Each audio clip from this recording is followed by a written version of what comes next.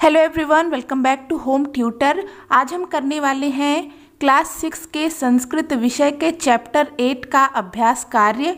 और इस चैप्टर को हमने पहले पढ़ लिया है। उस वीडियो को अगर आपने नहीं देखा है तो पहले आप उसे देख लें और फिर उसके बाद ये अभ्यास कार्य करें। तो चलिए वीडियो को स्टार्ट करते हैं। और अगर आपको ये वीडियो हेल्पफुल लगे तो प्लीज़ इसे लाइक और शेयर करें। साथ में चैनल पर नए आए हैं तो सब्सक्राइब भी कर लीजिए।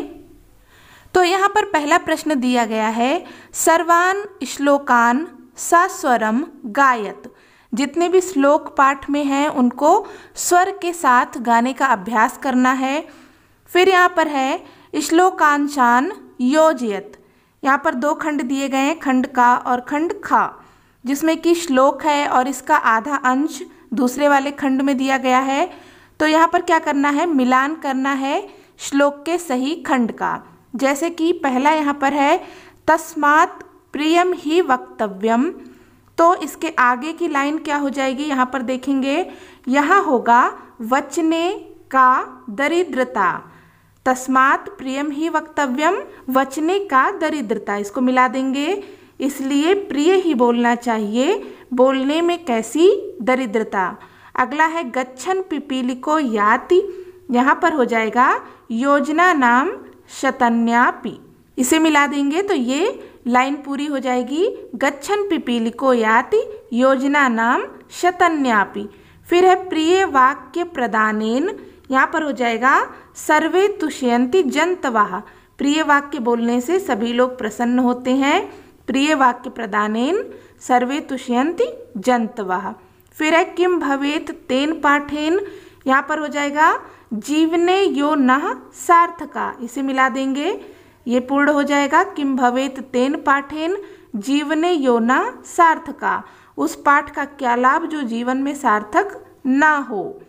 काक कृष्ण, पिक कृष्ण, यहाँ पर हो जाएगा, को भेद पिक काकयो। हो कौआ भी काला और कोयल भी काली, दोनों में क्या भेद है?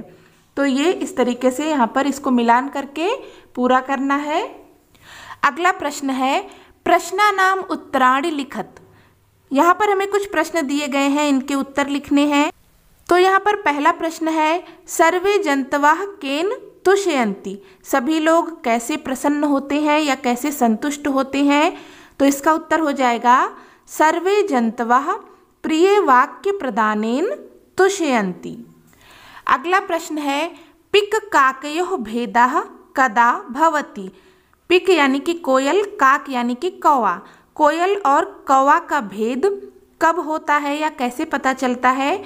तो इसका उत्तर हो जाएगा, पिक काकयो भेदा वसंत समय भवती। कोयल और कौवे का भेद वसंत समय में होता है। अगला प्रश्न है, कह गच्छन योजना नाम शतन्याप याति तो इसका उत्तर हो जाएगा पिपीलिका गच्छन योजना नाम शतन्याप याति। इसके बाद अगला प्रश्न है, अस्माभि किम वक्तव्यम हमें कैसा बोलना चाहिए? तो इसका उत्तर हो जाएगा, अस्माभि प्रियम वक्तव्यम हमें प्रिय बोलना चाहिए। प्रश्न नंबर चार है, उचित कथना नाम समक्षम आम, अनुचित कथना नाम समक्षम न इति लिखत। यहाँ पर कह रहे हैं कि उचित कथन के आगे आम आम का अर्थ होता है हाँ और अनुचित कथन यानी कि जो कथन गलत है उसके आगे न, यानी कि नहीं लिखें। तो पहला है काकह कृष्ण न भवती, कौवा काला नहीं होता है। तो ये कथन कैसा है? ये कथन अनुचित है, गलत है, क्योंकि कौवा तो काला होता है। यहाँ पर कह रहे हैं कि कौवा काला नहीं होता है। तो ये कथन गलत है, इसलिए यहाँ पर हम लिख देंगे न। अगला है अस्माभि प्रियम वक्तव्यम हमें प्रिय बोलना चाहिए। ये कथन सही है? तो यहाँ पर हम लिखेंगे, आम। अगला है, वसंत समय पिक काकयो भेदा भवती।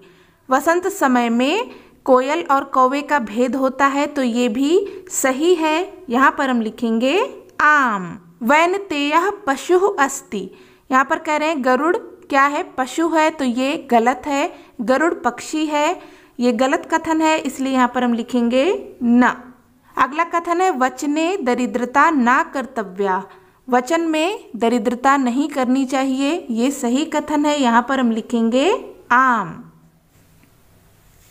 प्रश्न नंबर पाँच है, मंजुषातः समान अर्थकानि पदानि चित्वा लिखत। यहाँ पर क्या करना है? समान अर्थ वाले शब्द चुन करके लिखने हैं।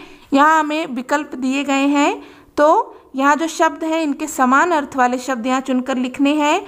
जैसे कि पहला यहाँ पर है वचने।